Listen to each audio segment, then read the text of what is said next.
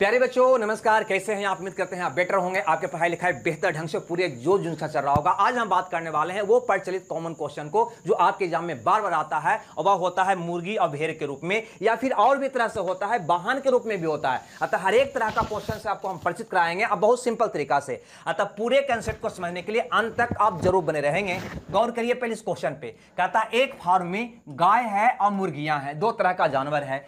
कुल सिरों की संख्या कितना है भैया? 180 है, तथा कुल टांग गिनते हैं तो 420 है। तो फार्म में गायों की संख्या क्या है, या पूछ सकता है मुर्गियों की संख्या क्या है?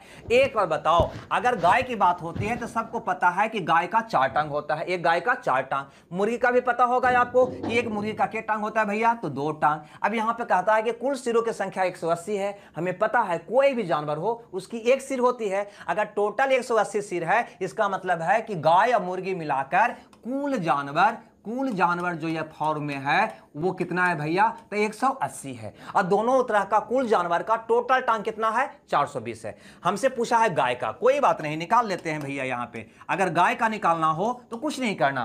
टोटल टांग, गाय और मुर्गी मिलाकर कितना है? तो 420 है। तो 420 में से गाय का निकाल रहे हो तो टोटल टांग में से मुर्गी का घटा दो। बस और क्या? तब एक मुर्गी का दो टांग होता है, और टोटल 180 मुर्गी मान के चलना है तो टोटल टांग कितना होगा? तो 180 गुना दो, कितना हो जाएगा? 360 और इसका क्या करना है? भागा में ये दोनों का अंतर। जितना टांग का अंतर होगा ना दोनों जानवर में उससे क्या करेंगे यहाँ पे? भाग दे देंगे। कितना का अंतर है? दो का। तो दो से क्या करेंगे भैया? भाग दे देंगे। आपका आ जाएगा साठ बटा टू, यानी कि तीस। यानी टोटल गाय की संख्या कितना होगा भैया? तीस होगा। ये प्लस में आवे या माइनस में आवे ये हमेशा ये दोनों का अंतर लेते हैं। रुक जाइएगा, पूरी तरह से आपको हम समझाएँगे, कहीं कोई दिक्कत नहीं होगा।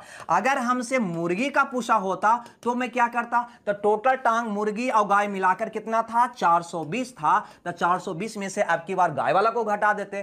गाय वाला, एक गाय का चार टांग, और टोटल जानवर कितना? 180 तो 180 गुना चार, कितना हो जाता भैया? 720 इसको में ये दोनों के अंतर से भाग दे देते। तो आ जाता 300 बटा टू। तीन सौ बटा टू का मतलब कितना होता भैया? डेढ़ सौ।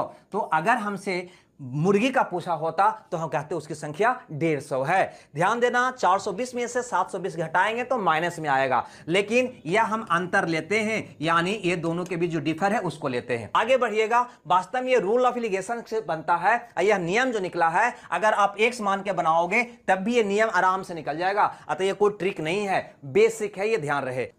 इसको समझने के लिए एक क्वेश्चन से और हम पहले समझने का हम यहाँ पे प्रयास करते हैं। ये क्वेश्चन कहता है कि एक फार्म हाउस में केवल मुर्गी और भेड़ है। सबको पता है, मुर्गी की बात आती है तो एक मुर्गा का दो टांग, भेड़ की बात आती है तो प्रत्येक भेड़ का चार टंग होता है। कहता है, सिरों की कुल संख्या अड़तीस है, यानी ये हमें बता रहा है कि ये फार्म हाउस में कुल जानवर की संख्या अड़तीस है। तथा कुल पैर की संख्या कितना है भैया? सौ है। हमें भेड़ का निकालना है। कोई बात नहीं, निकाल लेते हैं। भेड़ का कैसे निकलेगा? तो कुल पैर कितना है? भेड़ और मुर्गी मिलाकर तो कहेंगे सौ है। टोटल पैर की संख्या कितना है? सौ है। सौ में से किसको घटाना होगा? तो कहेंगे भेड़ के निकाल रहे हैं तो मुर्गी वालों को घटा दीजिए। मुर्गी, एक मुर्गी का दो टांग, और टोटल अड़तीस के अड़तीस मान लेते हैं कि मुर्गी है तो अड़तीस दूनी टांग हो गया।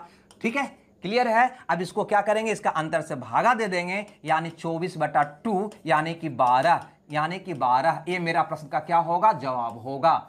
रुक जाइएगा। आपको लग रहा होगा कि तो हम जानते ही हैं, लेकिन जो ही आगे हम बढ़ेंगे तो बहुत तरह का क्वेश्चन मिलेगा, जिसमें आप लड़खड़ा जाइएगा। अतः अंत तक ज़रूर आप बने रहिएगा। अगर हमसे पूछा होता कि मुर्गी के संख्या क्या होगा तो भैया टोटल पैर सौ था, सौ में से अब की बार किसका घटा देते? भेड़ का।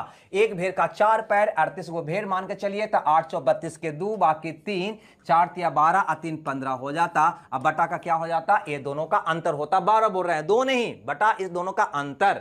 अब यहाँ पे ध्यान दो तो ये आ जाता बावन बटा टू, यानी छब्बीस। आपका प्रश्न का उत्तर होता कि टोटल मुर्गी की संख्या कितना है? छब्बीस है। आप ऐसे भी कर सकते थे कि जब भेड़ आपका निकल गया बारह गो तो मुर्गी कितना है? तो अड़तीस में से बारह घटा लेते, ये भी आ जाता। माइनस पे आपको ध्यान नहीं देना है, ये ध्यान रहे। अगला यहाँ पे देखिए इसी क्वेश्चन को पैटर्न बदलकर इस प्रकार से अभी आपसे पूछा जाता है। उस क्वेश्चन की भी हम बात कर लेते हैं। देखिए, वहाँ पे मुर्गी और भेड़ था। सबको पता है मुर्गी का दो टांग होता है और भेड़ का चार टांग होता है। लेकिन यहाँ पे क्या कहा कि एक गैराज में ऑटो रिक्शा और मोटरसाइकिल मिलाकर कुल 60 वाहन है तथा कुल पहियों की संख्या 160 है। तो ऑटो रिक्शा की संख्या क्या है? कोई बात नहीं। ऑटो रिक्शा में सबको पता है तीन पहिया होता है, और मोटरसाइकिल में सबको पता है दो पहिया होता है। और कुल वाहन यहाँ पे दे रखा है कि कुल वाहन कितना है? साठ है।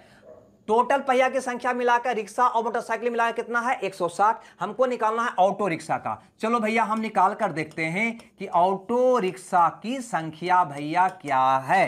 क्या करिएगा? तो टोटल पहिया, रिक्शा और मोटरसाइकिल मिलाकर, रिक्शा मोटरसाइकिल मिलाकर कितना है? 160 है। तो टोटल पहिया में से ऑटो रिक्शा का अगर निकालना है तो मोटरसाइकिल को घटा देंगे। यानी कि 60 दूनी 120 को घटा देंगे। अब बटा में क्या करेंगे? ये दोनों का अंतर बोले हैं। तो तीन दो का अंतर कितना होता है? एक होता है। तो 160 में से 120 गया, आपका उत्तर कितना आ जाएगा? 40 यानी कि टोटल ऑटो रिक्शा की संख्या कितना होगा? 40 होगा। अगर हमसे वो मोटरसाइकिल की बात किया होता कि भैया बता दो कि मोटरसाइकिल की संख्या क्या है?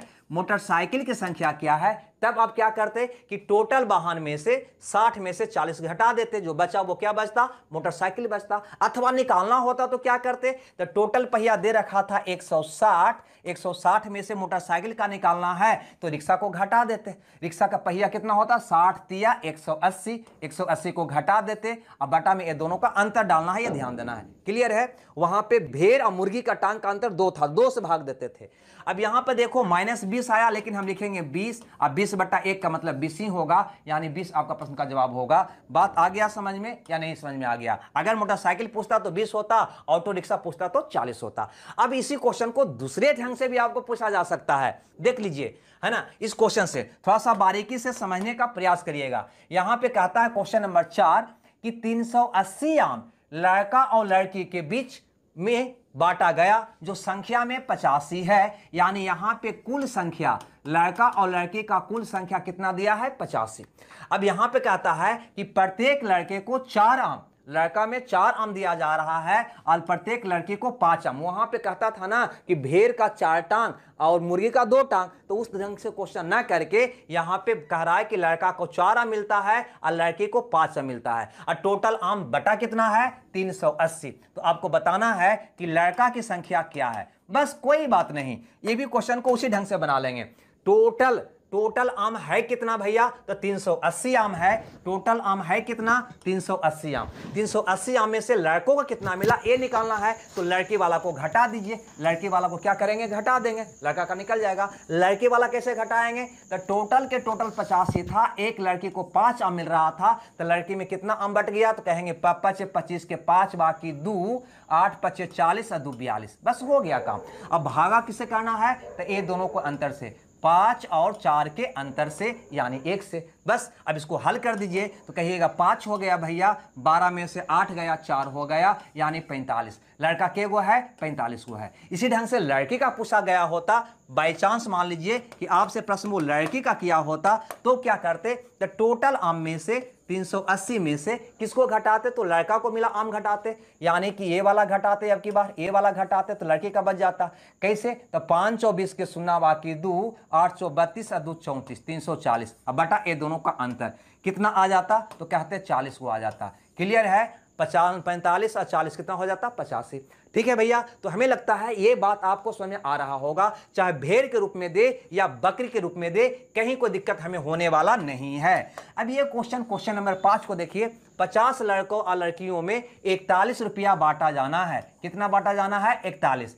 हर लड़के को नब्बे पैसे और हर लड़की को पैंसठ पैसे मिलते हैं। तो बताओ कि लड़का की संख्या क्या है? और ये क्वेश्चन आपको होमवर्क के रूप में रहा। और इसी तरह से बनेगा भी। अतः उम्मीद करेंगे कि इसको हल करके एक मान के नहीं एक्स बाई मान के नहीं रूल एलिगेशन से नहीं, जो तरीका मैंने बताया है, उसी तरीका से आपको बनाना है और उत्तर देना है। ठीक है? यही उम्मीद के साथ आज के क्लास को हम यहीं समाप्त करते हैं। अगर क्लास बढ़िया लगा हो तो ज़रूर अपने दोस्तों में शेयर करिएगा लाइक कमेंट्स आप करेंगे ही, और आप कोई विद्यार्थी अगर चैनल पर नए हैं तो चैनल को ज़रूर सब्सक्राइब कर लीजिएगा और बेल आइकन का बटन भी दबा लीजिएगा। ठीक है दोस्तों? तो मिलते हैं इसी प्रकार का शॉर्ट वीडियो के साथ अगले क्लास में। जब तक आप खुश रहिए, मंगल रहिए, ओके, बाय।